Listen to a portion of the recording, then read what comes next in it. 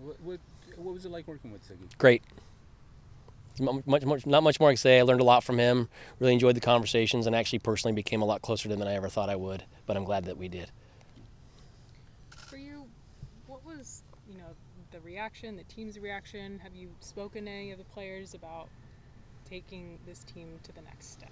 Yeah, I think everyone knows the urgency of the situation. You know, you know, you know we don't have the the coach that started the season with us. We have a six games left. There's you know we still have a chance to make the playoffs.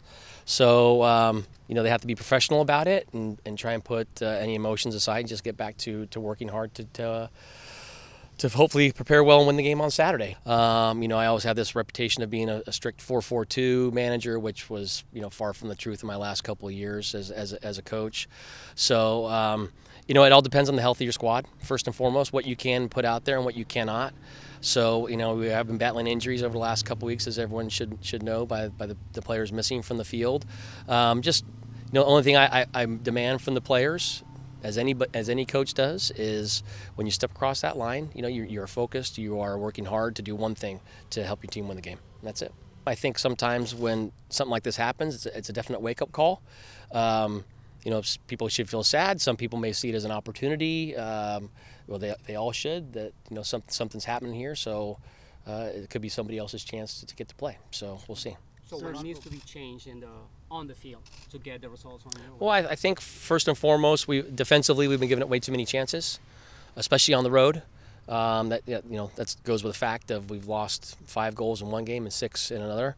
So I think we have to hold ourselves responsible for our, our hard work off the ball, uh, especially when the ball turns over. So that's the first thing that we've addressed is you know we have to stop giving up as, as many chances as we do. So in order to win games, you can't be giving up the goals that we've been getting up, and also the chances because it becomes a little bit too much of a pressure cooker for the team, and you defend way too much. And I think you have to be a little bit more solid defensively because going forward we do create chances. And is that a tactical thing or is more a mental? I think it's both. You know.